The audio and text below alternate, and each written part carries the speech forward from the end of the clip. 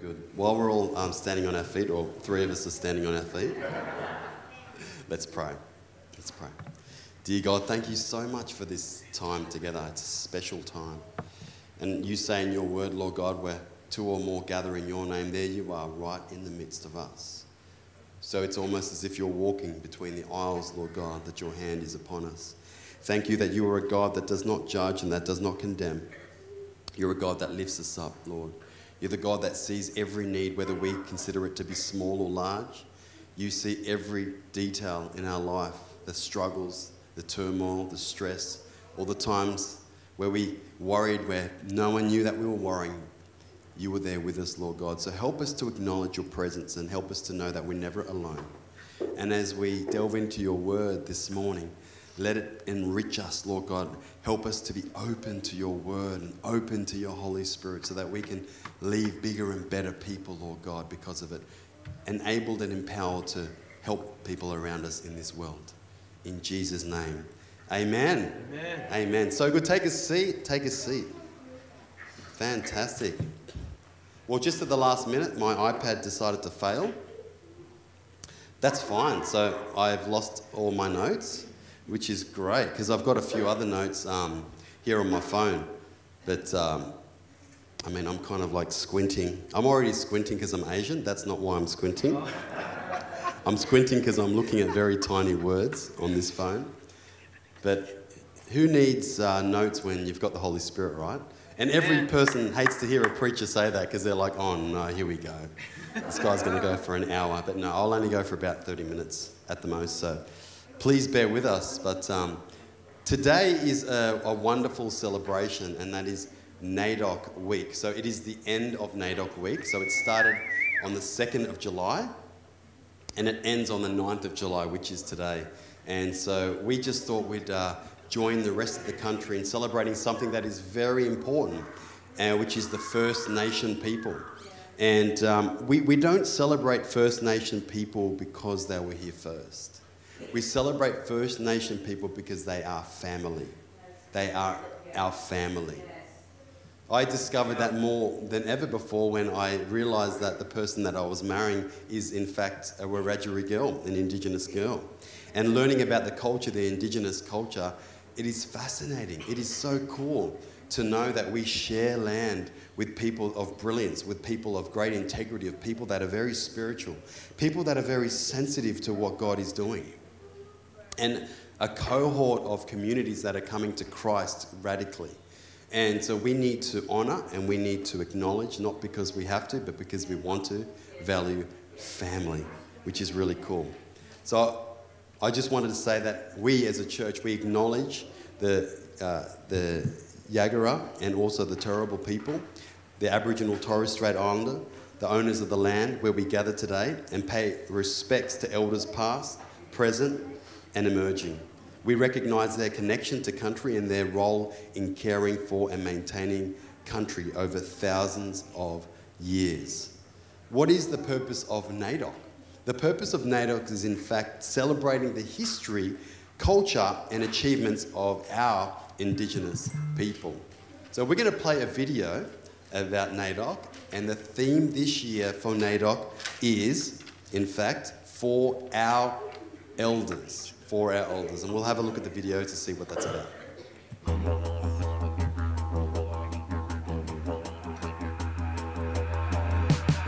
This NAIDOC week, we are excited to celebrate and honour our Aboriginal and Torres Strait Islander elders. We went out to our children and young people asking them what they love about their elders.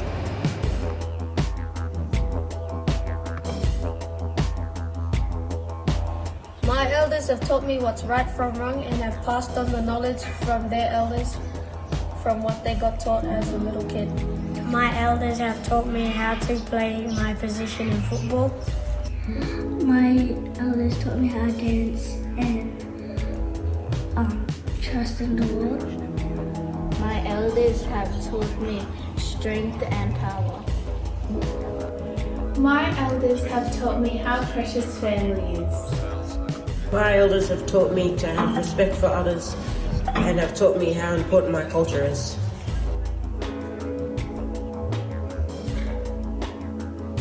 I love my elders because they love me so much and they take good care of me and I love them because they take good care of my pets.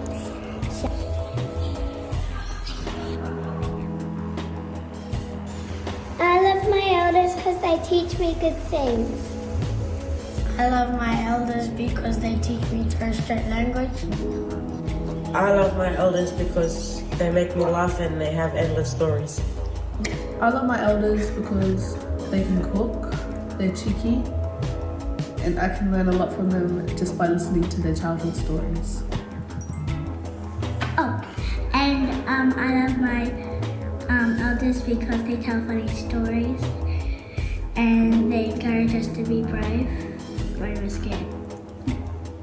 I love my elders because they keep the family up and going no matter how difficult it is.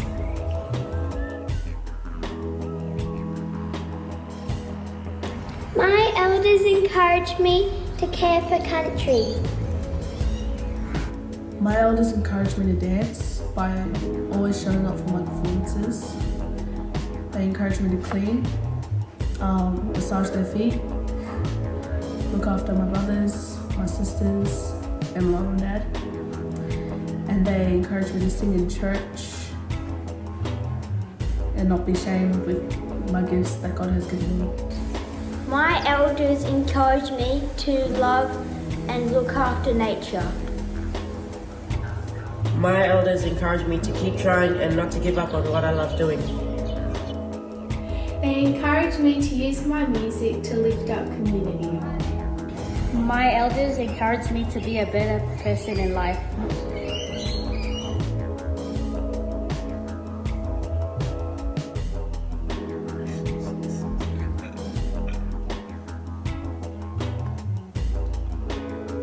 So wonderful. Why don't we give a hand?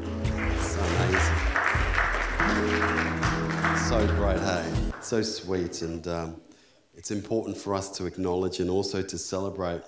Because as we celebrate people, we also are able to celebrate ourselves as well and the cultures that we bring. Because I just believe that the kingdom of God, when we, when we go to heaven, uh, we're going to see a whole bunch of people from different tribes, tongues, nations, and uh, it's going to be a wonderful party and celebration. So let's get used to the party now. Yeah? Turn to the person next to you and say, Let's get used to the party. Yes. That's right. Get used to the party. Let's get used to it. Let's get used to the spontaneity of life. And although the sermon notes are all gone, and you know, I don't have a guide to be able to t- tell me where I'm going, let's just get used to the chaos and just say, God, you are here with us, and we're grateful for you, and we're not going to worry, we're not going to stress, but we're going to enjoy the moments of life. How cool is that? How cool is that? In fact, I don't know if you knew, but I got a, I had a nine millimeter gun pointed at me. Was it last week, babe? Was it seven days ago? Last week. Okay. And if you don't know what that is, then never mind. But uh, so what happened was there were a bunch of teenagers, and there were um, one of them jumped out in front of my car as I was driving past and pointed the gun at me. And so I looked at him and I thought, okay, this is a bad situation. So I decided, as anybody probably would, so I kind of uh, swiped him gently, like an FPOS swipe. I swiped him gently with my car and then I continued to drive along peacefully, like a good citizen of society.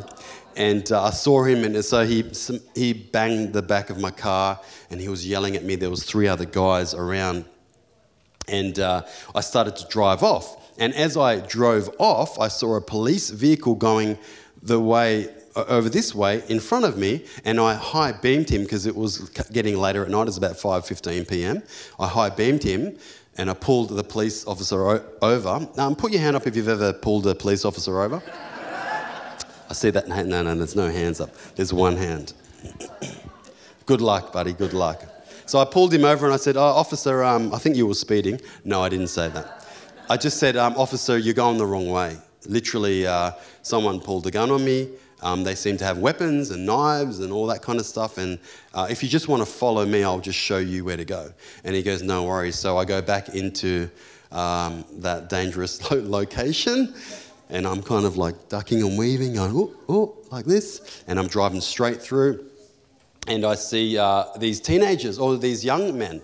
There's about 21, 18, 19 year old looking people. And so within two minutes of arriving to that destination, there literally were 22 police officers, 12 vehicle, uh, 12 police cars, six paddy wagons, two helicopters above us within two minutes of arriving. And I said, Look, guys, these are the people that you need to arrest. And I don't know if you saw all over the news, but all over the news, Channel 7, Channel 9, Channel 10, there was this incident of. Um, yeah, some pretty violent acts across our city, and it was connected to the Fortitude Valley uh, incident as well. So there was um, an incident that happened south Brisbane and also um, Fortitude Valley, and uh, it was all connected together. But I just thought through the whole situation, it's crazy what happens when you um, when you want to serve God. It's crazy because what happened just before that incident was Lucy um, met a gentleman, or a gentleman approached Lucy at the dog park in our local area and said, Look, I, I'm really in a bad way. And uh, Lucy rushed home and said to me, Look, this man, he might even take his life. He's in a very bad way emotionally. So I drove to the, um, I was a bit reluctant at first. I'm like, What's going on? Who is he? Like, what's his name? Oh, I have no idea who he is, but he's in a bad way. So I drove to the dog park and uh, I met him there. And he told me all these bad things that happened to him in his life. He told me about what happened with his um, partner, uh, what happened with his uh, children, absolute betrayal after betrayal after betrayal after betrayal, and heartache after heartache. And I said, Look, do you mind if we pray together? And so we prayed at the dog park. And then I said, Would you like to uh, accept Jesus into your heart? Because you just said that, you know, you believe in God now. And he said, Yeah. So I actually uh, had the opportunity to lead him um, to Jesus at the dog park while all these people are walking their dogs, which is, yeah, come on, give God a hand for that. That's really cool. but then after, a great victory and great glory is a 9 millimeter gun. And it's just like crazy in life, we have these ups, uh, you know, mountaintop moments, and we have down valley moments. And I don't know what it's been like for you in the last three years, but I can guarantee you you've had some downs. I can guarantee you you've had a few ups, although some of us might not even feel like we've had some ups. We feel like most of them have been downs. But I'm here to declare a message. As we continue the sermon series, Thy Kingdom Come, I'm here to declare a message that a faith that perseveres will get you through every obstacle in your life. So, everything that you're going to face, everything that you have faced, every obstacle in the way, there is a secret to overcome that, and that's having a faith that perseveres. So, a slide will come up with that, with that title. But I, I, just wonder what it's been like over the last few years. Even statistics show us that during the time of COVID in the US, that depression and anxiety quadrupled alone because of the isolation, because people were detached from their community. And it showed us one thing that people were desperate to walk away from communities, whether it was churches or whether it was family or whether it was safe environments. And what happened as a result of, of feeling desperate of leaving their community was an absolute breakdown in the mental health department of their life. And so we realize now how important it is to gather together as a community more than ever before. And the, the way that we can move forward together isn't just through a social hoo ha and party, but the way we're able to support one another. The greatest thing that we can do for each other is to pray for one another. Dr. Caroline Leaf says this. She's the author of switch on your brain. She says, It has been found that 12 minutes of daily focused prayer over an eight week period can change the brain to such an extent that it can be measured on a brain scan. That's neuroplasticity. That's the ability that God has to change your physical makeup of your brain through prayer. There's a lot of research coming out. An article in CNN writes large majorities of Americans generally and US Christians specifically who pray daily have turned to prayer during the outbreak of COVID.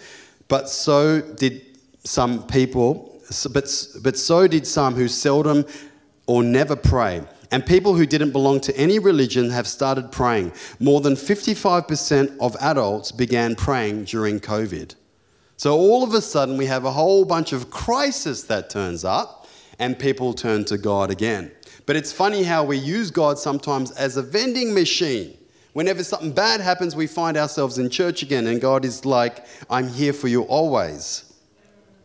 Health and Fitness Revolution, which is a leading health and fitness magazine that is not Christian, that's secular, says this Prayer gives people a better sense of self worth.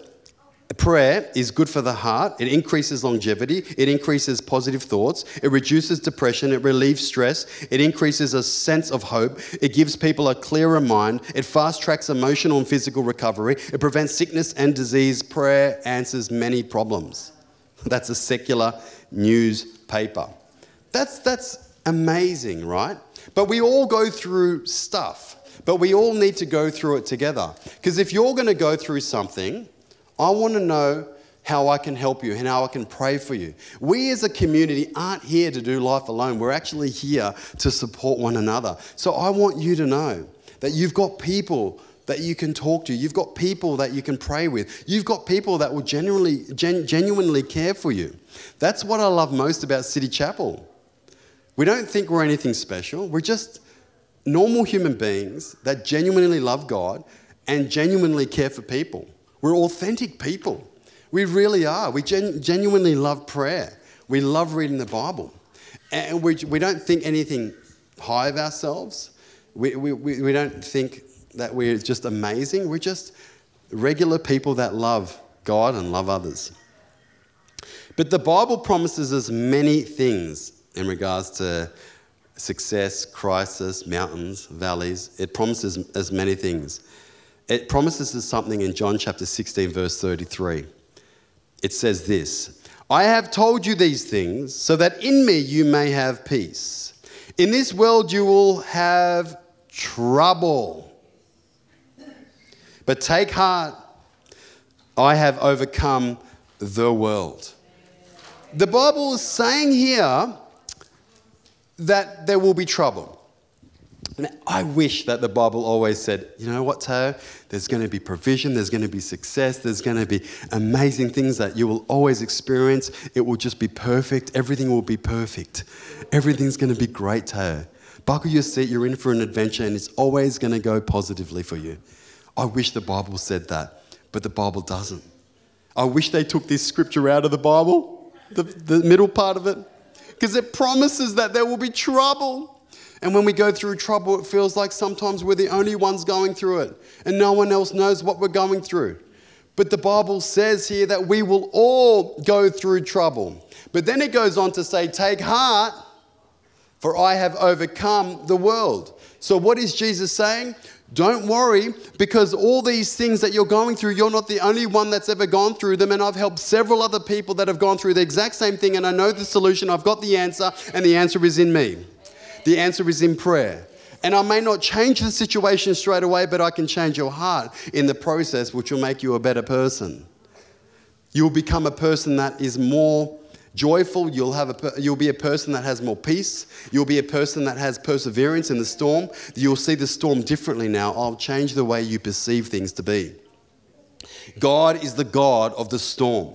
In fact, if you look at any storm, any major storm, any little storm, the, the, scientific fact about every storm is that in the center of a storm, it is called the eye of a storm, a scientific phrase called the eye of a storm. And in the eye of a storm, in the center of every storm, there is absolute peace and there is absolute calm. And so that really depicts your life, you and I. That when we go through a storm, we don't necessarily need to be a part of the storm. All we need to do is go through the storm because God gives us the peace that we need to overcome whatever is in the storm. And so God enables us and empowers us to get through the storm. So I don't know what you're facing right now. I don't know the challenges that you have gone through. I don't know the difficulty. It might be financial, it might be relationally, it might be loneliness, it might be a lack of purpose. The Bible says, without a vision, the people perish. So if you don't have hope in the future, then it almost feels like we're slowly dying on the inside. It's important to have purpose. What is the purpose of our lives? It might be depression or anxiety. It might be something to do with a situation that you haven't shared with anybody, or it might be an addiction. It might be a struggle with some form of addiction or a struggle, an internal struggle. It might be the fact that you hate yourself and you can't settle the fact that you are a child of God. Whatever it is, God is saying, I have overcome that already, and I will help you to overcome that. So buckle in, get ready for an adventure. I mean, I, um, I don't know if you guys knew, but before I became Christian, I've, I felt I've always had a pretty good heart in a way. Like I've always had um, values that I wanted to help people. But there was a period of my personal life where a lot of my friends, um, all of a sudden, they were criminals. And I was like, oh, that's not good. Um, that's crazy. And so I had some of my other friends reach out, go, oh, I can see that your life is going this way. That's not good. And then I got in trouble, you know, with police and so forth. And I'm like, oh, that's not good. And then all of a sudden, um, yeah, I mean, my brother's here right now. Um, shout out to Daichi. I love you, bro. I respect you. And you are amazing. Always been inspired by you. But I remember a time in my life where you were even saying, mate, that's not good. You could I may not be able to see you for a long time um, because of things that you've done through the law system. And so, you know, a lot of us have been down a path that isn't godly, but I've found myself going down a very dark path very quickly in my life, and I was getting involved with certain things that were pretty bad. And so I hadn't, hadn't had an encounter with God up until uh, uh, at that point. But it was when I encountered God in a room similar to this, with the songs similar to what we are playing today, with the people like uh, Pastor Latai that gets up just so full of grace. Isn't Pastor Latai amazing? Isn't she awesome? Come on, why don't we give it God a hand for her? She's amazing. Her and Pastor Clark are some of the most caring, loving people in the world. Trust me, trust me. And so my life was going downhill, but getting involved in, in, in, a community that cared for me, that wanted the best for me, that spoke life over me, that said, ah, cut off these things and start to follow the truth, I started to get really serious about those decisions. And um, my life has just fully turned around from, from where I was. But what I ended up doing was, because of all my experiences, I, I, got a phone call from the police as I was um, in my mid 20s, I believe, or late 20s, and they said, Oh, I've just checked up a bit of the stuff on your history tag. And I'm like, Oh, no. I'm a pastor at that stage, and I'm, I feel like I'm doing better. You know, Lord, I'm serving you. Um, please save me from anything from my past. Um, and I, I, said to the police officer, I'm sorry, like, how much do I owe you? He's just like, get me out of this, you know what I'm saying? Like, come on, man, don't judge me. I'm a Christian now. I'm a pastor. Please help me. And so they said, um, We want you to be in prison. And I'm like, What? They said, Oh, no, no, no, no, like um, as a prison chaplain. And I'm like, Okay. Okay. Oh, I can do that. I, I, I'll go to prison. No worries, that's fine. But on those conditions. Not on the first one, on the second one. Yeah, yeah, yeah, on the second one. I'm like, the way you worded that was really. Next time you call someone up and say, We want you to go to prison, just word it differently just, just say it differently. Just save the stress, right? And so I say to this person, yeah, yeah, and there's this person that's going into prison, and he's one of the greatest uh, underground outlaws in Australia. He's all over the news, and we want you to work on with him. I'm like, oh, okay, tell me about his history, blah, blah, blah, blah, blah. And so I find myself in maximum security in the prison as a prison chaplain, and someone just like bumps into my arm, and I'm like, I was like, what is going on? And the old Taiyo started to rise up. You know what I mean? See on there? Like the, what, man? what are you doing? Like, don't, don't punch me. You know what I'm saying? Um, and so I had to quickly repent to the Lord and say, sorry, God, I, I, didn't mean that. I don't want to punch him in the face. I don't want to tackle him to the ground and hurt him. I, I love him with the love of the Lord.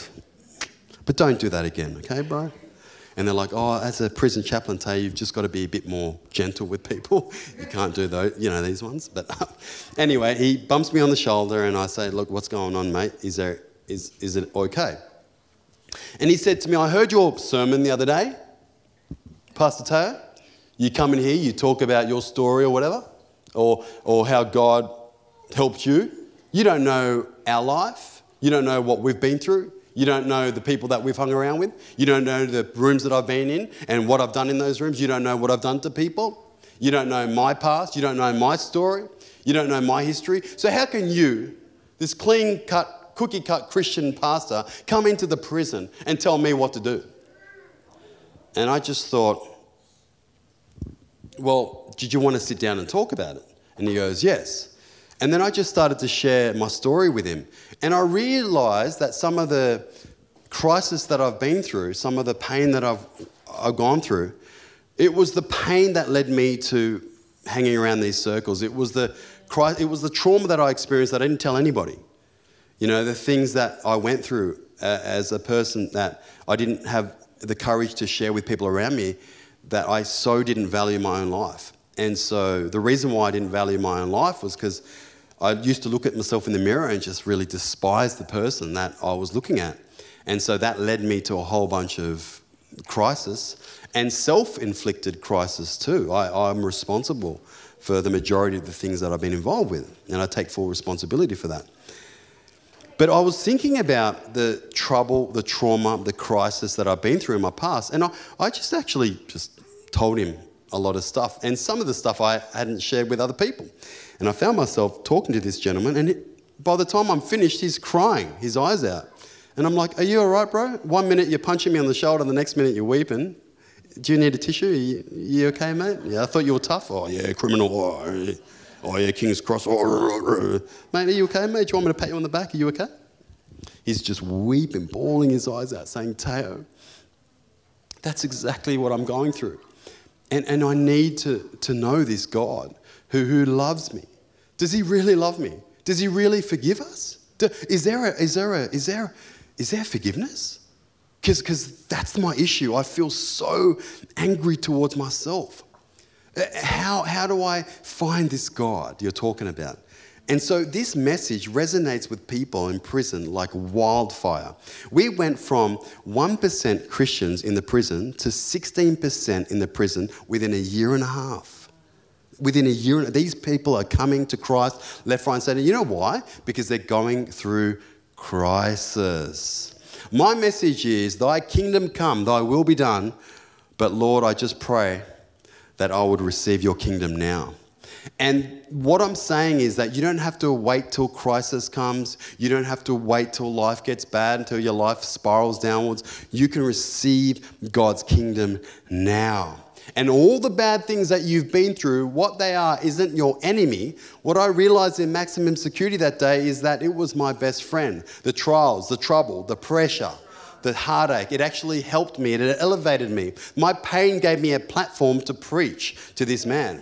So the experiences that we have give us the influence to speak into other people's lives. So if you've ever been through pain in your life, then you are empowered to speak into people's hearts.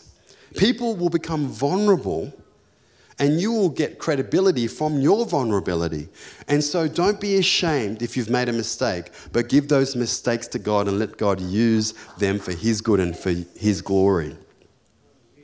But I used to not like the pressure because I used to think that, okay, I've been through some crisis and trauma before I was a Christian. Now I'm a Christian, I go to church and I, I sing the songs, I know the words to the songs now, I'm getting used to it all.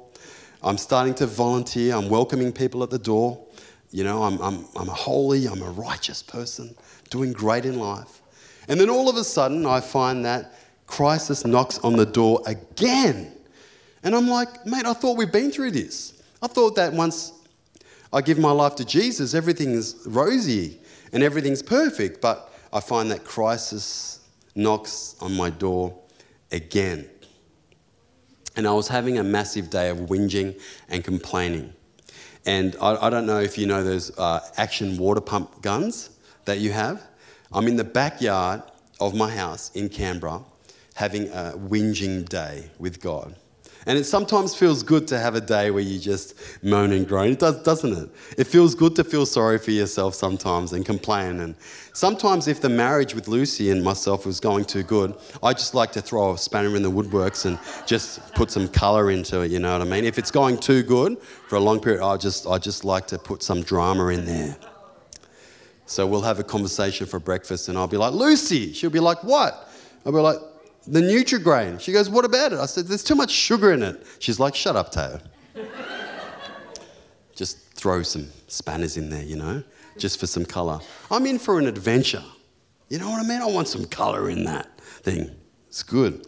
But I was having a very big whingy day in my backyard, and I, was, I had an action pump water gun in my hand, and I was pumping away. And then I started pumping and applying more pressure to the gun.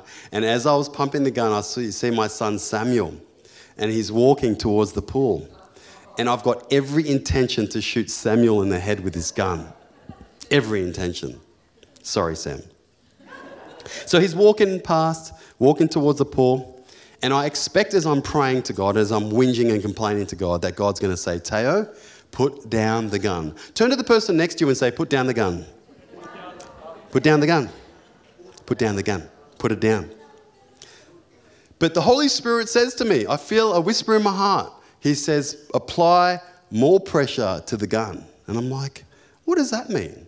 And I don't hear the voice of God like every day. I'm not like super spiritual people like Libby over here, um, who, you know, she prays and she gets whipped away to a third heaven and she's like, woo, out here, looking down upon us, all of us in the world, on the earth today. But I'm not like that. I only hear God's voice as, as like a peace in my heart, most, most of us here. And so I just feel there's peace in my heart. And he says, apply more pressure to the gun. So I'm applying a lot more pressure to the gun. And then God says, apply a lot more pressure on the gun. So as this water canister, it's like a tank, is having a more pressure applied to it, it is like growing. This plastic thing is growing. It's the plastic is bubbling out and stretching out. There's so much pressure on this thing. And then the Holy Spirit says, point it over your roof and point it over your neighbor's roof. And so I pointed over my roof and over my neighbor's roof, and then he says, shoot it, Taiyo. And so I shoot the gun. It goes over my roof, it goes over my next door neighbor's roof, it goes halfway down the block. And he said, See, the more pressure that I've allowed you to go through is the further that I can take you, Taiyo. The more pressure that I've allowed on your life is the more influence that you have, is the further that you can go. So don't sit there and complain about your problems and have a pity party all day, but thank me for what I'm doing inside of you and thank me that you haven't ended up dead somewhere, washed away that you have breath in your lungs, that you have blood flowing through your veins, that you have a, a living body that's partially healthy, be grateful, Taiyo. And instead of pointing my finger at the person that did this, and the person that did that, and the person that falsely accused me of this, and the person that said this about me, instead of pointing the finger at everyone else and blaming this situation, and when I didn't get a promotion in 1998, when I didn't see finances come through, when I prayed for it and I felt that God would said the finances would come through and they didn't. Instead of being bitter towards the situation and bitter towards God and upset with everything in the world, I decided to take responsibility and to realize the pressure wasn't my enemy, but the pressure was my greatest friend. Come on, people, give God a hand for that. Because I'm telling you, pressure is your greatest friend. Whew. I was like, God, that's not enough. I need more convincing. I'm a stubborn guy. He goes, All right, Tab. I said, No, no, no. It's not all right. But why did I have to go through that? He said, Well, what? Why did I have to go through, remember, God? You and I know that. Why did I have to go through that? So you've gone through the fire. Yeah, yeah, I, I, I've been through the fire. And I just felt the love of God wash over me, you know, and, and I felt that He knew what I had been through and He understood what I had gone through. And instead of blaming God for that and, and being upset with God for the situation that happened or being upset with God because things didn't turn out the way I wanted it to, or the pain that and the, and the trauma that it caused. Instead of um, being angry at God, um, I thought about what He said about the fire. I've been through the fire. You know, because all of us need to, at some stage, unfortunately, go through some form of fire. Um, if you look at the scriptures, even Jesus did. Jesus went through the fire. The first thing that the Holy Spirit did when Jesus was baptized and he was ordained into ministry, he was initiated into his ministry on earth. The first thing the Holy Spirit did was lead him to the wilderness. You experienced the fire. Because if you haven't been through fire, you can't produce a flame when you minister to people. If you haven't been through the, through the fire, there's no depth of richness to your life. Tell you, if you don't go through the fire, there is no ministering in maximum security. You can't look at those people dead in the eye and tell them that God loves them until you've been through that. But God, what is the fire producing in me? How is it helping me? In Job chapter 23, it says, When he has tested me, I will come forth as gold. No tests, no gold. No pressure, no diamonds. See, the issue with human existence is the issue with you, the issue with me is that when we've been through the fire, we think that there is no more value on us and that we still smell of smoke. That's the issue. We go through disgusting or horrible experiences and we go through them feeling like people see us in that way. And we devalue ourselves, we, we demoralize ourselves, we think that even God doesn't view us the way we, he, he actually views us. We think that there is no beautiful value on our life. But who knows that the Bible says that his thoughts are as numerous as the sand in the ocean, his good thoughts towards you. If you think about how many grains of sand are in the ocean, think about all the good thoughts that he's thinking about you, there is no space for anger. There is no space for judgment and condemnation. There's only space for goodness. So when he looks at you, he sees his son or he sees his daughter, and there is nothing he wouldn't do for you. Let me tell you, there is nothing that God the Father wouldn't do. He will protect you. He will be like a T Rex, and, and he'll rip the enemy off from you. There is nothing that God the Father wouldn't do for you. And I'm telling you that when we go through the fire, it's because God is refining us. He's refining our very lives. You are gold in the making. Just because you've gone through the fire doesn't mean there's any less value on your life. In fact, if you put a $20 note, if you put it through a, a garbage can for three weeks, and I pull that same $20 note out of that garbage can that stinks of vomit, do you think it's lost its value? No, just because it's been through the rubbish, just because it's been through the muck, it doesn't lose its value one bit. And that's the same with you, my friend. Just because you've gone through things, just because you've found yourself in places, just because you've found yourself making mistakes, it doesn't mean there's any value taken from you. The same value that was on you as a pure, innocent baby is still with you now. I mean, God sees you as someone that is so valuable that He sent His one and only begotten Son, Jesus Christ. He sent Him on to earth. He sent him down here in the mess and the chaos and crisis to endure the most brutal punishment known to human existence, being crucified on a cross. Why? Because God values you. So you can't tell me that God doesn't value you. You can't tell me that value has been diminished on your life. That is a lie from the pit of hell. There is so much value on you. Just because you've gone through the fire, it doesn't mean that you are useless. It means that you are gold in the making. Let's give God a hand for that. There is value on your life, there is worth, there is potential. God's got a purpose for you, He's got great things in front of you because you are valuable. You are valuable. In fact, what happens with, I don't know if you've heard of a smelter. A smelter is this thing where they put gold in it and they crank the heat up over 1600 degrees. They crank it up and up and up. And what it does is it takes all the impurities out of the gold. It takes all the, the, the, limitations from the gold, anything that was limiting the purity of that gold, anything that was spoiling the gold, anything that was trying to devalue that gold. It was taking all of that out. And I'm telling you, as you go through the fire, all those impurities seem to be washed away. As you go through the fire, there is somebody else in the fire with you, and his name is Jesus Christ. All the limitations are taken away. All the things that you thought were going to devalue you are taken away. Why? Because you've gone through the fire. So don't see the fire as something negative, see it as your friend. You are gold in the making. Is this all right?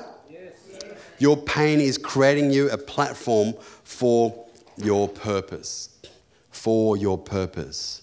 Now, I don't know about you, but whether your relationships look really good right now, whether they've been rocky, whether you've gone through pain in your relationships. I know that I have on a personal level, but have you? Have you gone through a season when you felt misunderstood? Have you gone through a season when you felt that nobody could see you or see your pain? Or see your heartache, I'm telling you, God is getting ready to set you up. Those people that feel isolated, that feel left out, that feel misunderstood, welcome to King David's world. David, as a young boy, was left to the side. His father Jesse didn't even consider him one of his sons. And so when the prophet came, Samuel came to ask Jesse for his son because he was going to anoint one of his sons to become king of Israel. He didn't even call David to be part of that choosing flock. He just said, Nah, David, nah, just leave him in the paddocks to be with the sheep. I'm telling you, if you, misunder- if you feel misunderstood, if you feel left on the sideline, I'm telling you, God is getting ready to set you up. He's getting ready to pour oil onto your head. And Samuel poured the anointing oil on David's head and anointed him to become king of Israel. I'm telling you, there is a royal calling on your life. You think that your life is washed away, that you're insignificant, that you're a nobody. I'm here to tell you that He has called you to be a king or a queen in the, in the kingdom of God. He's given you a royal priesthood, He's given you a royal lifeline.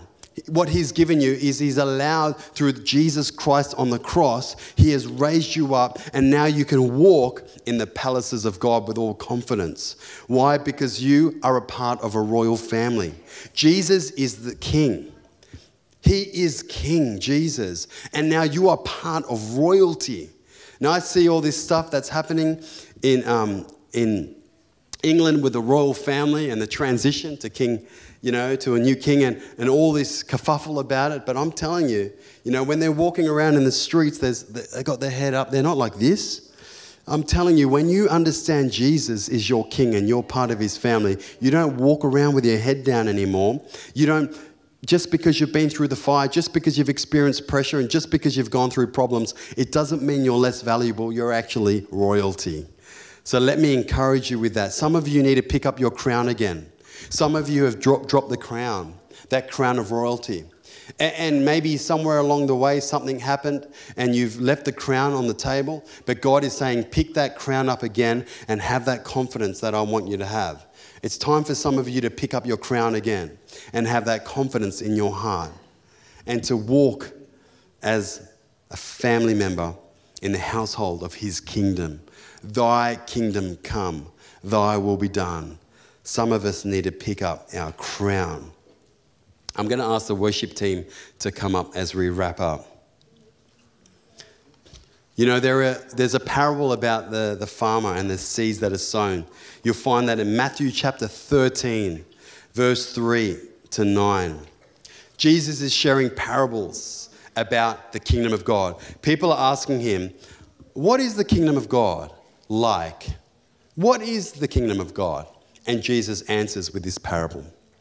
He says, Then he told them many things in parables, saying, A farmer went out to sow his seed. As he was scattering the seed, some fell along the path, and the birds came and ate it up. Some fell on rocky places where it did not have much soil. It sprang up quickly because the soil was shallow, but when the sun came up, the plants were scorched and they withered because they had no root. Other seed fell among thorns which grew up and choked the plants. Still other seed fell on good soil where it produced a crop. A hundred, sixty, thirty times what was sown. Whoever has ears, let them hear. And I find that when we go through seasons of life, when we go through rocky seasons of life, that is an opportunity, a perfect opportunity for the enemy to say, hey, you can walk away from God now. Hey, you can walk away from His purposes over your life. Whenever we go through a transition season in our personal lives where there's pain and there's heartache, the enemy opens up a door to say, hey, now is your time to escape. And I feel like God is saying that He is requiring another level of commitment from His people, not just to be seeds that are sown and that just dissipate. You come to church and we enjoy the worship, and then what happens? We walk away from God. But God has called us to be a people with faith that perseveres. They don't just trust in God when everything good is working out in our life, but to trust in God in the midst of the storm. That when there's a rocky situation, when there's a crisis that's taking place in our life, that is the perfect time to get on our knees and say, Jesus, we need you more than ever before. Let's not be that seed that gets eaten up by the birds. Where there's media that's sending out waves and signals of negativity about our life and, and how we should fear the future and how you know, there's so much media out there that is anti God, anti purity, anti holiness, anti Jesus Christ. And we've got to avoid this media and not let this media infiltrate our system and start to believe the message of the world. We need to start to believe in the Word of God again and what the Holy Spirit is doing in our lives and trusting in the purpose that He's got in front of us. We need to be people that don't get shaken by these experiences in our personal life. And what about the, the, the, seeds that spring up quickly, but because the sun comes out, it scorches us? That's talking about the fire. That's talking about seasons of pain and hurt. That's talking about an option to leave and walk away from God. But there's another group of people I want to talk to, and that's the people that have never encountered the love of God. Where you've never really felt the love of God in your life. This is something that is so important because if you've never experienced the love of God, if you've never had an epiphany or a revelation of His goodness and love over your life, it's time to have an encounter with God through His love. And I want to give an opportunity for everybody to experience that today because it's that which keeps us into place. It's a relationship with God that keeps us firm in His path, the path that He has for us the future that He has for us. It's encountering God, it's intimacy with God, it's a relationship with Him that He's looking for. Don't let any message, don't let any enemy try to take you out, try to choke you out. It is time to persevere through the fire and know that the fire isn't our enemy, but it is our greatest friend, that we are gold in the making, that the fire was sent to harm us, but whatever the enemy meant for harm, God intended it for good in our life. Amen. God intended those things for good in our life. And we're going to embrace God in the crisis situations and know, just like Paul the Apostle knew. I say it again, praise the Lord. I say it again, give thanks to God. And he was in prison and he was telling everyone to thank God in prison. That just sounds crazy to me. That a person in prison is telling everybody that they're free in Christ to praise the Lord and to thank God for all the good things that He's doing. I'm telling you, it's going to give you an attitude of gratitude. We need to position ourselves in a posture of praise once again. It's that attitude and mindset that says, God, thank you for my life. I'm so grateful and I'm appreciative of what you have done for me and help me to move forward beyond this crisis and beyond this trouble. But thank you that you've never left me. Thank you that you are with me. Thank you that you are for me. And whoever is, if you are for me, then who can come against against me, Lord. Thank you, Lord God, that you back me, Lord God. When I move forward in life, Lord God, and the enemy pops up its head and knocks on my door, that you back me, Lord God. When the enemy comes in like a flood, God, you raise us a standard up against him, Father God. Thank you that you are for us and not against us, Lord God, that you love us. It's crazy that I don't I don't know if you've heard this story about um, my father, he went to be with the Lord earlier than I think he should have. You know.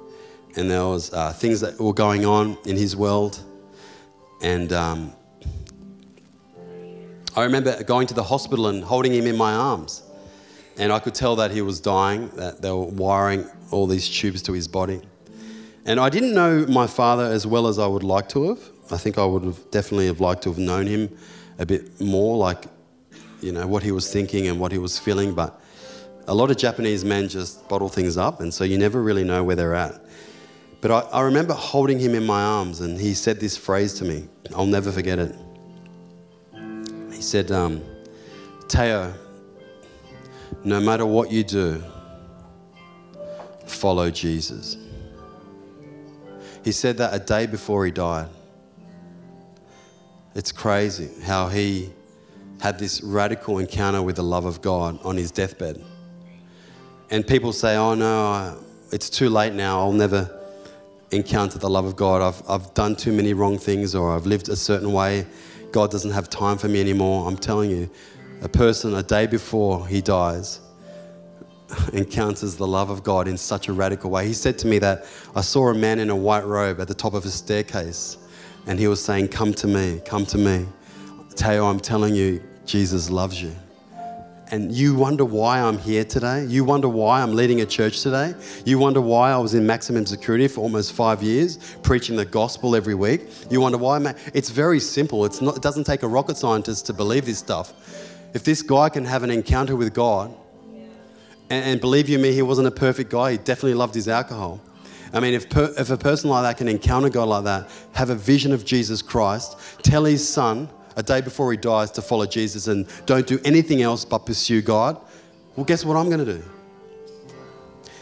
And I'm giving an opportunity for everyone now to get serious about your faith. Don't be that seed that gets excited for two weeks, goes to church and goes, oh, yeah, yeah. Don't be a seed that goes, oh, yeah, yeah, you know, I've been hurt by church before and now I'm, I'm over church now and I, am over God. Don't, don't be that seed because God is looking for more. He's looking for people that are, have a heart to forgive, have a heart to open up to His purposes and His plans. Don't be a seed that gets excited one day and then turns your back on God the next day. Be a seed that is fruitful, that multiplies, that has influence, that encourages. God's got a plan for you to impact many, many, many, many people and do things, crazy things.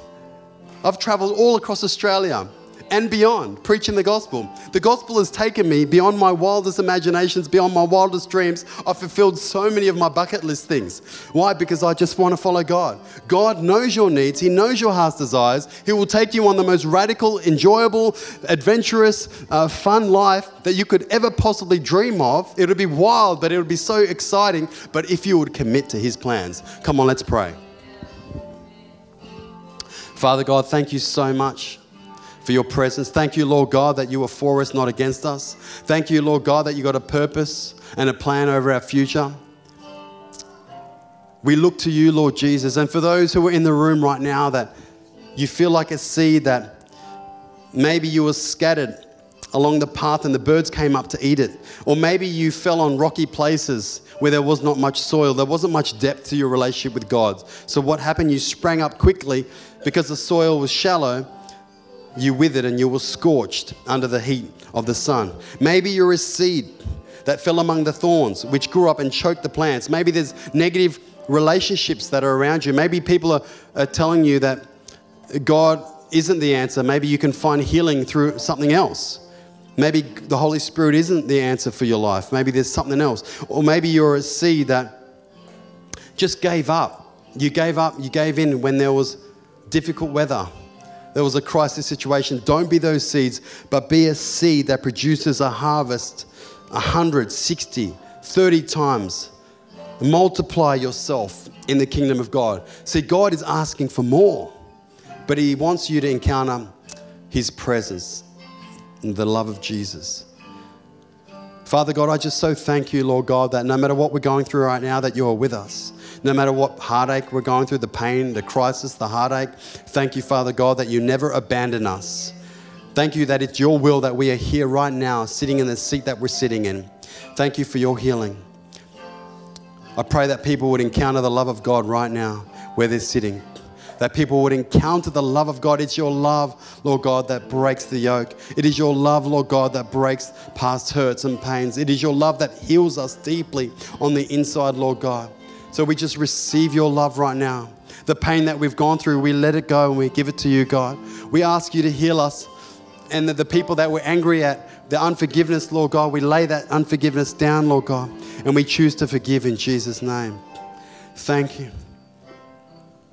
If you want to make a decision, just like I did, to follow Jesus, just like that person in maximum security did, just like that person at the dog park did, if you want to make a decision to follow Jesus and to make a serious commitment about your future, while all eyes are closed, I'm going to count to three, and on the count of three, I'm going to ask you to slip up your hand. One, God loves you. Two, He's got a purpose and plan for you. Three, why don't you just slip up your hand right now? Yep, so good. You're saying, God, I want to get serious with you. I want to take my faith seriously now. I want to go the next. I want to go the next, Lord God. Thank you, God. I just pray over every person, Lord God. Pray for your blessing upon them. Thank you for them, God. Thank you for your love. Thank you for your forgiveness. Thank you for the purposes that are on their life full potential, a crown on their head, courage in their hearts. I thank you for them in Jesus' name. Come on, let's give God a hand. A faith that perseveres.